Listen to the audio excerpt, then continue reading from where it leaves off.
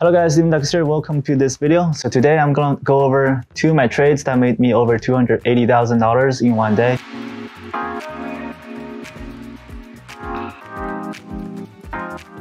As you can see, some of the AI stocks are being really hot. For this video, we're going to talk about some of the technical analysis and including my entry, exit, and also some of the volume trending as well to make sure we are adapt to the current market. Other than that, check out the link in below for the new courses and let's get into the video. All right, so the first one we have is GFAI. You can see this one went from 4 to 21, so overall up about 500%. This is a low floater. Let's check out the, the historical chart. This one did a reverse split, so all these resistance becomes useless. So it's going to be a fresh chart overall. And let's check out the volume that was traded before the momentum shifted. Total traded volume is around 40 million. So 40 million on the day before the momentum shifted. So right about here the stock consolidated between 14 to 16. The consolidation range exceeded over 25%.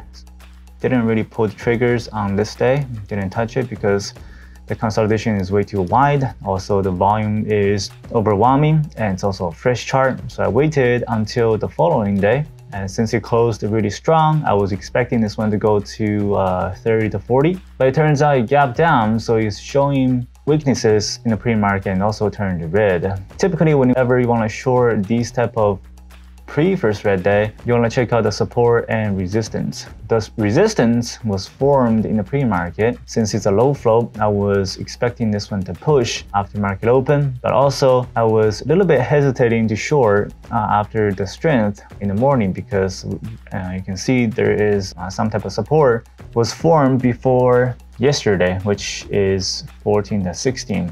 So I waited the push. Shorted around 18, I was planning to add around 19 and 21 to risk the 21.9, 21.1 area. The stock dumped, so I added into the bounces right here. I was not expecting this one to fade all the way down, but it turns out it cracked through the support and consolidated between under the support level that was formed yesterday. So when the support gets cracked through like this, these type of support becomes resistance. Following day, it faded to $8.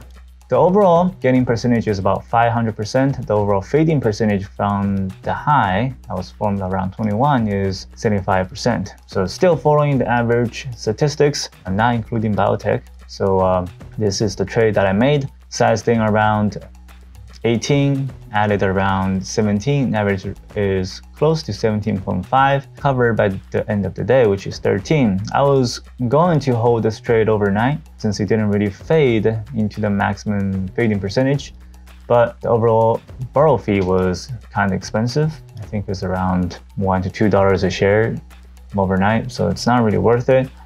And sizing in today, which the volume is really low. So overall, for the entire day, only traded around 1.8 million shares. Maximum you can size in is probably 10K, uh, 10,000.